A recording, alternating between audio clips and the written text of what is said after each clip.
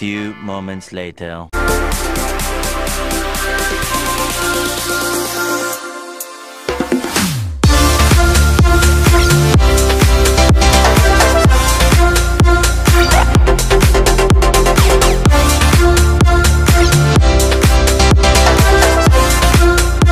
which is 33 degrees Celsius or 91 degrees Fahrenheit.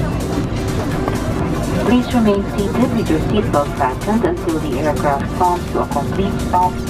And behalf of Captain Manara, Captain Guzman, and the rest of the crew, thank you for flying Philippine Airlines, the heart of the Filipino.